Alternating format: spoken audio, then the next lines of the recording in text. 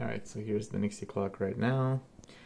Uh, added to it a, uh, a bunch of, here we go, three buttons. So minus, plus, and then uh, mode change, and then a uh, PWM brightness changer. So um, let's first demonstrate that the potentiometer changes the brightness of the tubes. So we can see here it does indeed change the brightness of the tubes. Now the flickering happens because the thing isn't plugged in quite well.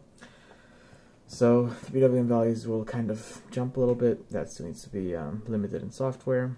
Um, now let's press the mode button and we see that time stops counting and we can now change between the time. So let's set it to, let's say, 6 o'clock and then 39th minute,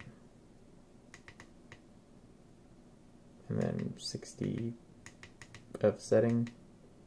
We can go both ways, of course. And when we press it again, the time is set to the new value and it starts counting. And if the clock loses power,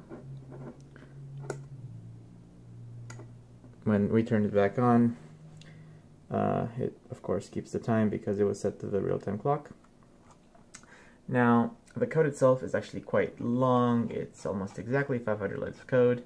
Now, a lot of it can be rewritten because a lot of it is just kind of backwards, so that will be fixed soon, TM.